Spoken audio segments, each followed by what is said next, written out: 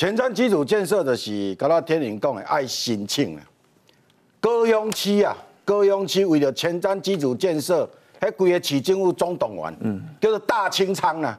就较早因为统筹分配税款拢无够嘛，所以迄是林权咧做行政一定的时候讲好，那就打破那个同族分配税款的这一个制度，该补的拢补，所以叫做前瞻基础建设啦，等于讲无够拢啊补啦。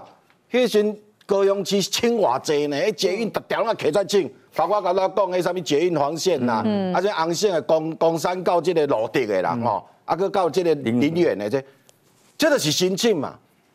台中我讲台中落来，台中捷运就喺中港路台湾大道的迄个捷运，台湾大道这条捷运哦，各位两年前的其实无？严宽恒啊。嗯。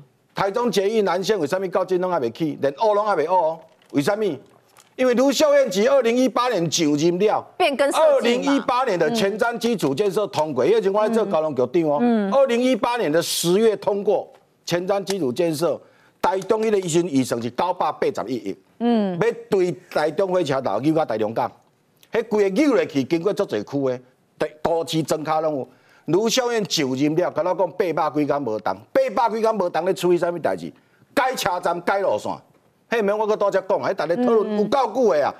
各位记者，啥物正音站有无？对啊。啥物台中港最后三井后咧提早转弯有无？啥物叫沙鹿火车站去北沿几百公尺？本来是要公告，结果他给刷路哈远。好，即摆即摆你知影医生送去，即摆送去高龙部偌济钱？一千六百十五亿，哈，加七百几亿，嗯，加七百几亿，交通部讲，啊，你嘛解释一个，那加七百几亿，你嘛讲一个，你阿台中市政府做啥物代志？台中市政府的报告换封面，搁甲送去，啊？啊，内容都没有改，啊？内容无改，直接上封面，改封面甲送去。哦，安尼。甲台中市议会讲，我们送报告，现在在交通部。啊。交通部讲，啊，你怎么都一样东西？对啊。恁加这六七百亿安那来？正因站为啥物会会改位？啊，啥物啊？三一的三井奥利站为什么会提早转弯？你来改税啊？为什么无要交沙鹿站公站？你来改税啊？台中市政府无爱改税，就是无爱改税。高龙博跟他提等于讲解释，你们要解释啊，跟跟这些委员解释，跟交通部解释，跟行政院解释，无要改水，所以来来回回，安尼补嘞，一个两三年去。嗯嗯。啊，即嘛卢秀燕讲啊，你看。都不给我们，都不给我们。我还讲啊，你老师叫学生改报告，学生把封面换了要交回来，老师会让你过吗？有人安内吗？然后你就说台中中央欺负台中，是你卢秀燕欺负台中哎。那那捷台中捷运有一条绿线，要叫去中华迄条嘛同款啊。因为去中华只要叫三四站过去了，这边到中华市呢，中华人得咱坐捷运入来台中坐高铁呢，会当坐入来呢。叫你改，你嘛不爱改，你嘛搁甲报告方面往外，你搁甲送入来，欺负嘛？你著欺负高龙波嘛？当下高龙波只要甲你摕，你著到议会讲，你看中央都欺负我们，你无人无人安尼做市长的，你知无？你甲一个台中的巨蛋，台中的巨蛋啊，本来六十五亿，今仔去流标，你若增加增加几亿啊？增加到一百亿啊！一百亿标未出去。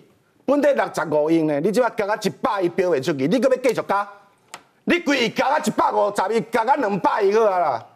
无人安尼处理代志，那个审计部有报告，甲甲交通部讲一下来讲，哎，为什么台中啊？为什么全民运动馆可以申请的时候，为什么台中都没来申请啊？什么沙鹿区、乌日区都可以申请，为什么台中都没来申请？还叫行政院讲，你还去啊？台中讲叫人来申请？还有那个前瞻基础建设有那种停车场，嗯，我这局长的时候清二十几个停车场，清清的，好，即摆去啊，即摆交通部交路总局个存钱，个发文啊，台中市讲，哎，恁进前毋是有十几个、二十几个，什么武峰的啦，什么所在，恁哪拢无来请，无爱请就是无爱请，伊就无爱请，无爱请，所以你总额少嘛，人其他管区拼咧请啊，像我知影屏东啊，人屏东就请一堆啊。屏东本地要起停车场，伊拢无钱嘛，伊连停管基金都无啊。屏东都上到要死，再好前瞻基础建设，你看人个东港的停车场起啊，屏东市的停车场靠起几个，人即摆就用这条钱咧，把这城乡差距给我白。卢秀安，你就是不爱处理这嘛？柯文哲嘛同款啊，柯文哲今仔讲什么什么捷运去玉山，什么阿里山面去高铁，嗯，你不要在那边乱讲啦。阿里山只有小火车啦，不然要讲要去高铁啦。你你台北市你也申请三百多万的前瞻基础建设啊，你也拿走了一百多亿啊。对，嗯，台北起码是有啊，迄人行道改善这是拢前瞻的钱啊，咱早有讲过，翡翠水库盐水管嘛是啊。对。你起码拢讲，迄迄迄拢无重要。哎，恁请到的拢无重要，你若别人请的拢无重要，恁请的拢上重要。安尼你对得起中南部这用心吗？我即马公开讲啦，柯文哲，你直接讲哦，对一条，因为你今仔讲一句话最重要，你讲哦。不敢讲哪一条捷运不能盖的，就是一个无能的政府。给那柯文哲公开讲嗯，那柯文哲，你现在告诉我，哪一条不能现在各县市在争取的捷运建设，包括做可行性研究，包括台南在做可行性研究，做综合规划了，包括高雄捷运要对林园又去新园又去东港，你去林边，你去大鹏湾的这条，该不该盖？你讲我清楚。如果你认为不该盖，你就直接点名哪一条不要做，不然你就不要讲人家是无能的政府。嗯，我可以补一下，对，是。比如说民生线，细致民生线啊，对啊，到底到底该不该盖？你是要问柯文哲是不是？对啊，就他觉得台北市啊，柯文哲的柯文哲的意思，他觉得说会花太多钱，没有办法回本呢，会赔钱的，他不干。可是柯文哲，我就要问你啊，你在二零一八年到二零二二年呢，你总共我就讲中运量的文湖线，你亏了十二亿。中和新芦线你亏了十一亿，松山新店线你亏了六亿以上，加起来这亏这么多钱，你也我也没有看到你提出任何的改善计划。既然这三条线既然都亏，那你要不要觉得这三条线干脆废掉算了？我自己是台北人，我或许会做到这三条线。可是你有没有想过，你应该对台湾其他地方的人公平？台北已经有这么多的捷运线，我们现在的交通生活是这么方便。你有没有想过，包括台中、包括新竹、包括高雄、包括屏东，很多人是等一般公车，都是等得非常辛苦。柯文哲的最终的问题，他的中心思想除了骗以外，最大的问题就在歧视别人。自己有啊，你凭什么有？我有就好啊，为什么被否定？我最后个补充一下，全世界。全世界哦，全世界的轨道运输、公共运输不是来赚钱的，对啊，是为了缩短城乡差距，为了多拉一个站过去，整卡的可能变斗机。嗯，那里的人上班就方便，无人咧用钱、用票箱收入在计算捷运该不该盖的啦。柯文哲，你那种观念太老旧，你老是用台北在看天下。对不起其他管区的人。这件事情整个开端是在于哦，新北侯友谊对柯文哲开枪了啦。上个月的这个时候啊，他们新北捷运就说柯政八年效率不彰，双北捷运南柯一梦，柯还是柯文哲的柯，那意思是什么？就是这次为什么前瞻高雄第一，新北第二？因为有乖乖去申请捷运相关的这些补助嘛。那台中呢？为什么都到后面呢？是因为呢这个蓝线没有过。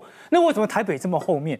柯文哲自己没有规划，这不是我讲的，是侯世福讲的。嗯，结果像游淑慧啊这些蓝营小鸡，他竟然没有帮自己的候选人，还跑去呢帮柯文哲去挑动南北差距的这样的一个议题哦。过去高雄人啊，非常承担了非常多工业上面的风险啊，管线啊、气爆啦等等，就很多总公司哦都出来台北。在税基计算上，钱就往台北那边跑过去了。高雄就承担这些，还有南变北送，这些都不要讲。那现在一些比较轻松的媒体，他就是讲前政局港这件事情。这个事情其实用简单的比喻就好了。他们说，哎，为什么一开始三千万，到后面的话会变成了这个几十亿啊？对。问题是在于说，他们原本就觉得啊，这个就那么旧了，以前都没有办法做，就像是一台货车开了五六十年，他就想说，啊，不然我底盘换一换，轮胎换一换就算了。可是苏贞昌看一看就觉得说，哎，你一年三百亿的这个产值呢？然后那些渔工哦，下船之后连洗澡的地方都没有，然后呢，整个冷链运输也都没有做。不一次过把它做完，就是说你既然产值这么高，一年三百亿，那我花八十亿给你一个大整修，我们可以做一个类比啦，哈，日本呃之前是竹地市场，对不对？后来是不是变丰州市场？我都会把它做一个类比。而且你把它整新之后，它还有观光的考量。原本是纯商业去那边买鱼，餐厅的一些老板就买鱼之后回去做料理的嘛。现在连的这观光客也可以去，它对于台湾来讲当然是非常有帮助。那卢秀燕她也想要趁这个，因为也是要转移焦点。我很理解为什么一川哥刚刚那么生气。对，因为如果林佳龙二零一八年赢的话，蓝线已经盖好了，蓝线已经通车了。如果王一川现在还是台中的交通局这个局长，现在蓝线在台中是民已经享受得到。嗯，这完完全全都有数据依据哦，我给比较给大家听啊。第一个，蓝线的可行性研究呢，二零一八年十月三日核定，那个时候交通局长王一川嘛，嗯，然后呢，台中市政府呢，什么时候能弄到呢？这个综合规划到二零二一年三月四号，就是刚刚讲的八百多天。嗯，我们做一个对比，这是高雄捷运。嗯，高雄捷运的对比是什么呢？高雄呢是在呢二零呢这个一九年五月还比较晚哦，二零一五年五九月五月才开始做呢这个。呃，可行性研究弄完之后，现在做综合评估。结果这综合评估呢，到了二零二零年三月，大概九个月后就做完了。所以我做了一个简表，自己做的。你看啊。一个蓝线，一个高雄黄线，哎，高雄只花了九个月就从可行性通过到综合规划，嗯，但是蓝线的综合规划到了二十九个月，而且经费还增加了六十五趴，一直到一千六百一十五亿，为什么会这样？后来仔细一想，我终于想通了，因为这个呢，它高雄的这个黄线呢是韩国瑜时期去做的，韩国瑜都没有上班嘛，就交给底下的人很专心的去做，没有干扰站点的，没有说哦，我这个站呢移到严家土地旁边啊，哦，这个地方那边移。就这这这地方也很感谢过去的这个韩市长，因为他没有去干扰这些站底的这些规划，让一条线路很顺利的在九个月之内，依照专业的公务员的规划，就把它盖好。台中为什么到二十九个月？而且哦，你说经费增加六十五趴，我们知道原物料有涨嘛，涨也是涨二十趴，对啊，涨到六十五趴，没有涨到六十五趴嘛？你为什么涨那么多呢？你又不讲，所以整件事情就是因为卡在这个地方。如果蓝线。这个没有在改这些站点跟路线的话，它跟比照高雄，我们来算，比照高雄，也就是呢九个月之内就有机会通过。